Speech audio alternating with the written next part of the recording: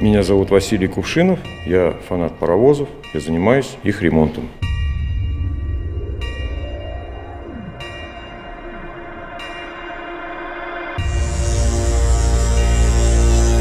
Мы устанавливаем паровозы для чего? Для того, чтобы красота движущегося паровоза, ни с чем не сравнимая, чтобы она не ушла в прошлое, чтобы люди знали, как он выглядит, как он двигается, как он дышит тепло, исходящее от котла, ни с чем не сравнимое дыхание паровоза, когда он идет на перегоне, вот эта его отсечка, вот эти звуки, паровозный гудок, прям вот честно, вот прям вот для души.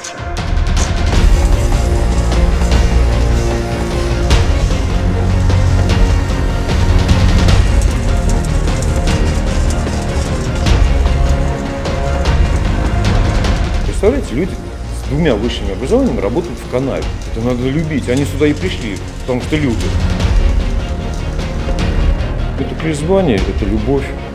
Любовь к паровозу, а что еще?